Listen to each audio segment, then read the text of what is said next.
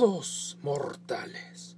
Mi nombre es Morbius, el vampiro viviente.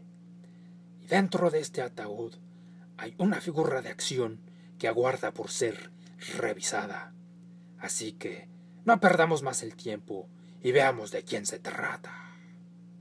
Para abrir este ataúd necesitaré de la asistencia de los gemelos Hans. A ver, ustedes dos, apresúrense. Ah, pero si es Abraham de McFarland Toys. Pertenece a la línea de Walking Dead de la serie 4 de los personajes basados en los cómics. Está genial. Parece que salió directo de las páginas del cómic. Ah, pero antes de continuar con la figura, veamos rápidamente el empaque. Estas ilustraciones están geniales. Aquí vemos la figura de Abraham y aquí está la ilustración extendida de la parte de abajo. Y en la parte de atrás podemos ver las demás figuras de esta serie. Abraham cuenta con varios accesorios. Primero, vemos que tiene una horca de cuatro puntas. La parte que se supone es de metal está pintada de color plomo. El resto es de color café claro, con un wash oscuro para simular la textura de madera. También tiene una pistola de diseño sencillo. Cuenta con textura en la parte de la culata y con un dry brush en todo alrededor para simular que está un poco desgastada. Puede sujetarla con cualquiera de las dos manos y cuenta con una funda donde pueden colocarla fácilmente. Tiene una metralladora. Desconozco qué tipo de arma sea. No me interesa porque para acabar con mis enemigos tan solo necesito de mis propias manos. Sin embargo, el arma tiene muy buenos detalles, tiene un dry brush alrededor, la pintura tiene algunos brillos, y la parte café tiene un wash oscuro. Y por último tiene una mochila. Las únicas aplicaciones de pintura que tiene son en los tirrantes y en los broches. Está hueca para que no tenga tanto peso, pero aún así hay que inclinar la figura hacia adelante un poco para que se balancee mejor y no se caiga.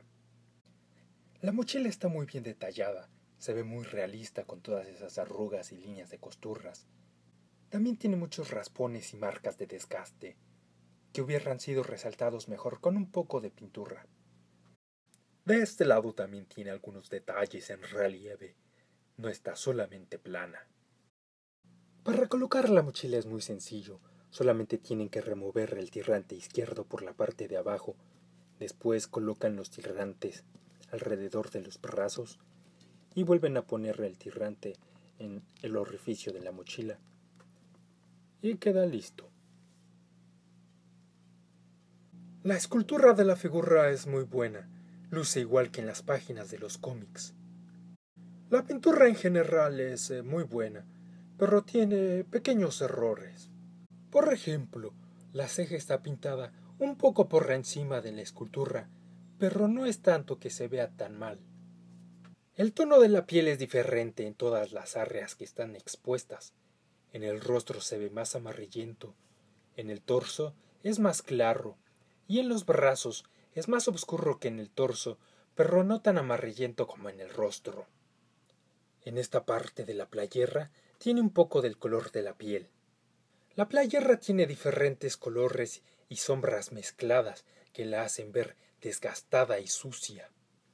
Es por eso que esta mancha sobre el abdomen sobresale, porque es un color sólido y no tiene ninguna de esas manchas o sombras que el resto de la playera tiene. Lo mismo con esta otra pequeña mancha en la parte de la espalda, pero no se nota tanto como la del frente. El cinturrón es una pieza separada, del cual cuelga la funda para la pistola. No tiene aplicaciones de pintura, pero tiene muy buenos detalles de escultura. La escultura de los guantes también es muy sencilla. La escultura de la ropa se ve muy realista, con todas las arrugas y diferentes líneas de costura. El pantalón tiene un ligero dry brush para resaltar algunas partes y también un ligero wash para darle sombras. Y por último las botas, que están muy bien modeladas. Se pueden ver las agujetas, tienen algo de textura y también un dry brush que las hacen ver desgastadas. Ahora vemos una comparación entre Comic Abraham y la figura de Abraham de la serie de televisión. TV Abraham tiene el cabello de un tono café en lugar de ser rojizo como el de Comic Abraham. Aparte de eso, el resto está muy bien, y se ven muy fieles a las diferentes versiones del personaje que representan. Visten ropas muy similares, pero de diferentes colores. Las fundas para las pistolas se encuentran en lados opuestos. Las botas son más grandes en Comic Abraham que en TV Abraham. Las suelas son más gruesas, lo que le da más altura, si no sería aún más bajo que TV Abraham. Los músculos en Comic Abraham se ven un poco más grandes. Y los guantes de TV Abraham se ven un poco más detallados. La piel se ve más sucia en TV Abraham que en Comic Abraham. También tiene un cuchillo que Comic Abraham no tiene. Prosigamos ahora con la articulación de Abraham. Tiene una esfera en el cuello que le permite girar. Aquí se ve un pequeño agujero, no se ve muy bien. Puede inclinarla hacia los lados, puede moverla hacia el frente hasta aquí y hacia atrás hasta aquí solamente, prácticamente nada. Los hombros pueden girar 360 grados, puede moverlos hacia afuera hasta aquí, los codos pueden girar y pueden doblarse hasta aquí. Hacia la mano hay tres puntos de articulación en la conexión con el antebrazo puede girar, puede moverla hacia arriba y hacia abajo y puede girar en la muñeca. También puede girar en la cintura, puede mover las piernas hacia el frente hasta aquí, hacia atrás hasta aquí y puede abrirlas completamente. Puede girar en la rodilla y doblarla hasta aquí y por último puede girar al inicio de la bota. Desafortunadamente no tiene articulación en los tobillos, que le sería muy conveniente. Ahora veamos a Abraham comparado con otras figuras. Aquí está junto a Abraham de la serie de televisión nuevamente.